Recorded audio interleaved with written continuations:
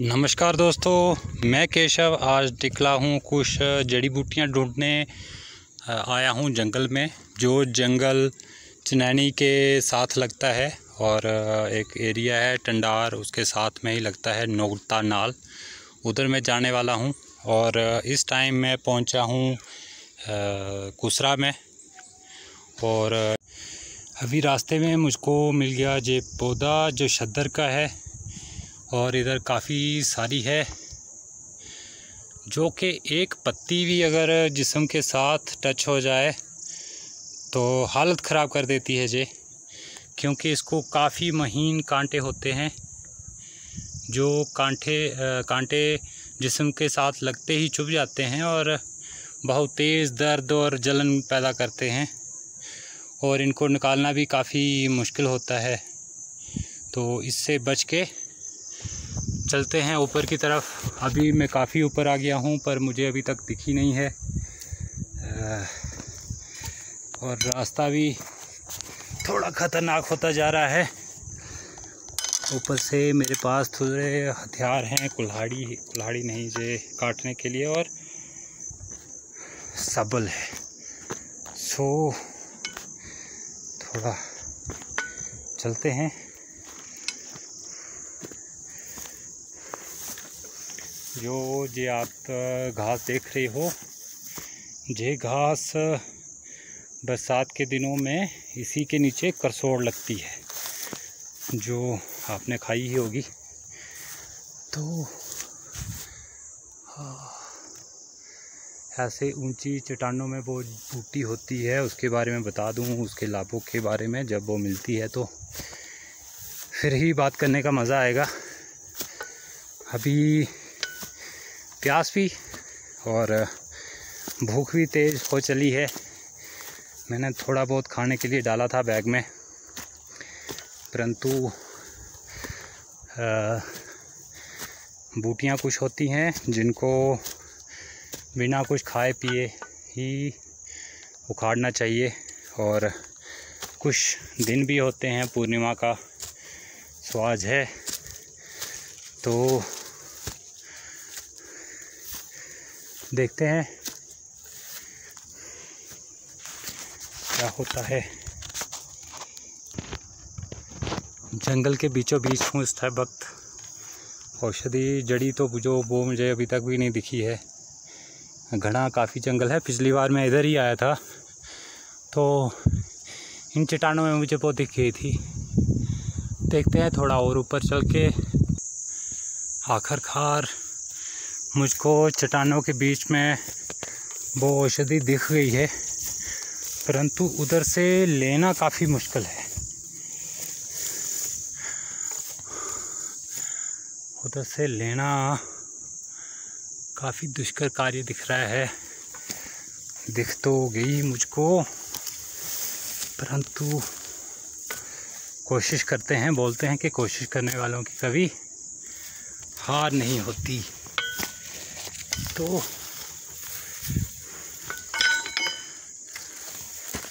देखते हैं। तो देखिए, चट्टान के बीच में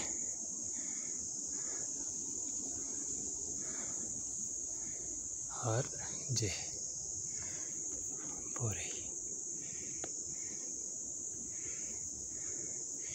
इसकी जो जड़ होती है, वो कार्य में लगानी पड़ती है। एक मिनट। देख सकते हैं आप किस तरह वो देखिए ऊपर। वो है सही। तो अगर पत्थरों के बीच में पहुँचना ही एक चुनौती है।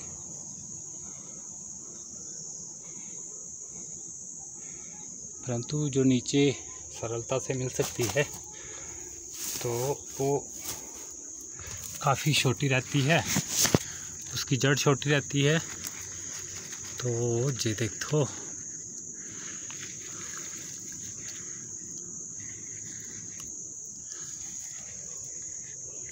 तो इससे बड़ी ढूँढने की कोशिश करते हैं।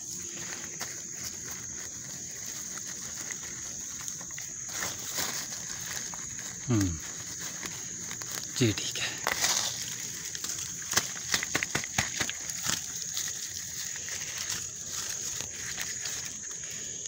जी, देखिए।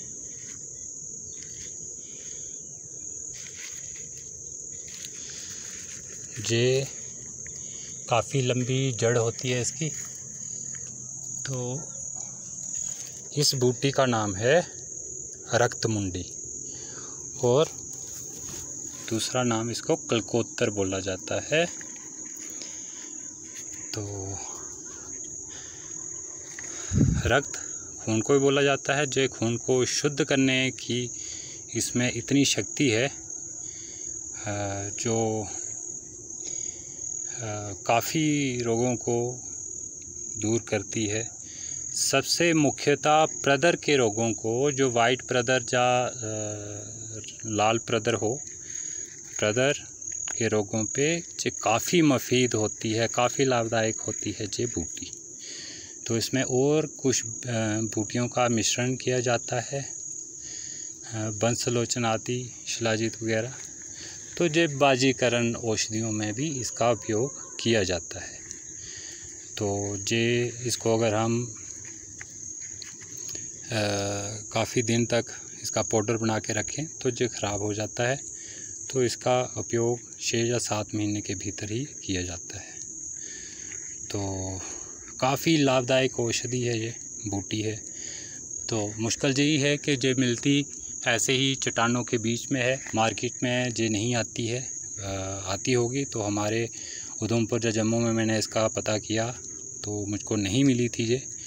जा आती होगी तो इसका अलग नाम होता होगा तो जो मुझे दो नाम इसके पता थे तो हम इसको बरसों से उपयोग में लगा, लाते आ रहे हैं अलग अलग दवाइयों में डालते आ रहे हैं। तो अभी नवंबर तक जो हरी रहेगी, दिसंबर तक, उसके बाद थोड़े पत्ते इसके झड़ जाएँगे। तो जे ऐसे ही चट्टानों के बीच में होती है, जुगधार के जो शाखाएँ हैं, जैसे कि बसकार एक पहाड़ी आती है उसके सामने, और जुगुधार में भी है जे अलग अलग चट्टानों में जो मैंने देखी है छोटी, जहाँ बर्फ़ वगैरह पड़ती है वहाँ पे, बस इसको लाना इसको पहचान तो हो गई है इसकी, काफ़ी बड़ा पत्ता होता है इसका, जैसे कि मैंने ऊपर दिखाया है।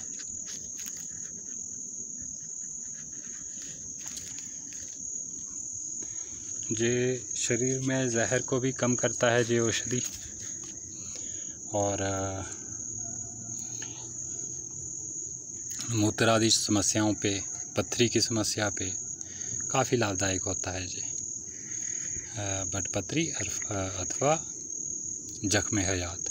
और हाँ जख्म हयात पे इस बार जितना भी पुराना जख्म हो, लगी हो तो इसका पाउडर हम उस पर लगाएँ सुखा के, या अथवा इसके गीला ही इसको, इसका रस उस पर लगाया जाए तो जख्म शीघ्र आता है, इसका दूसरा नाम जख्म हयात जो है।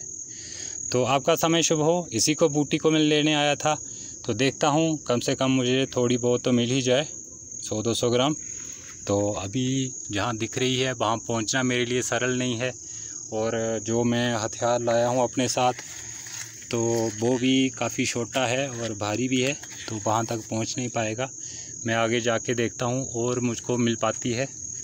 तो आपका समय शुभ हो। धन्यवाद। इस चैनल को सब्सक्राइब ज़रूर करें और शेयर करें अपने दोस्तों में। आपका समय शुभ हो। केशव के साथ बने रहने के लिए आपका शुक्रिया।